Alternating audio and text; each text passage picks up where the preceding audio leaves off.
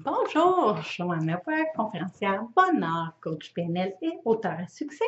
Aujourd'hui, on est rendu à la stratégie 72 de son stratégie gagnante pour vivre heureux au quotidien.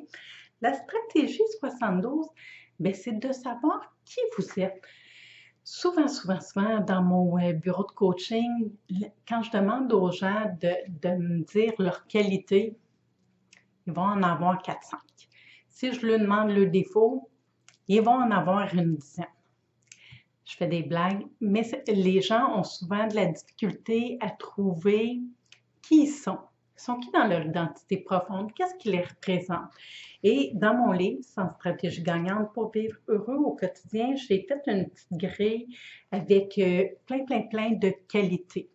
Et j'invite les gens à mettre des petits crochets à côté ce que je fais quand les gens viennent en coaching, on fait aussi cette euh, technique-là pour vraiment ressortir toutes les belles qualités qu'on a à l'intérieur de nous, qu'on a souvent tendance à oublier. Et une belle façon de faire, un coup que vous aurez, vous pouvez aller googler ou sinon dans le livre le faire, euh, que vous aurez trouvé au moins 30 à 50 qualités, parce que je sais que quand on les cherche comme ça, c'est plus difficile, mais quand on les lit, puis on peut les crocheter, ça devient beaucoup plus facile de les nommer parce que ça nous permet de se rappeler qu'on les a, ces qualités-là. Et quand vous l'aurez fait, ensuite, vous pouvez vous faire un pot de qualité.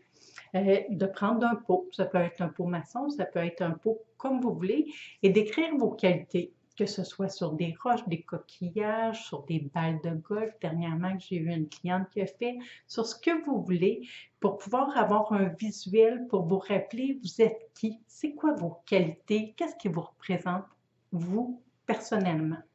Et de le garder à la vue pour les journées où ce que vous avez l'impression que vous êtes que du négatif, de venir repiger dans votre peau de qualité pour vous rappeler votre nature profonde, qui vous êtes vraiment à l'intérieur de vous, on a souvent tendance à focuser sur le négatif. C'est important de se rappeler tous nos bons côtés aussi. Donc, c'était la stratégie 72 de son stratégie gagnante pour vivre heureux au quotidien.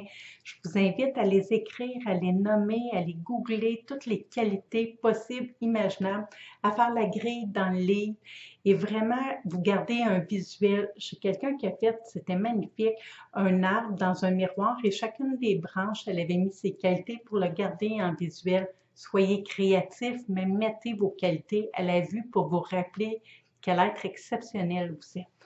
C'était joannelavoiecoach.com. Pense pas ta vie, vis-la.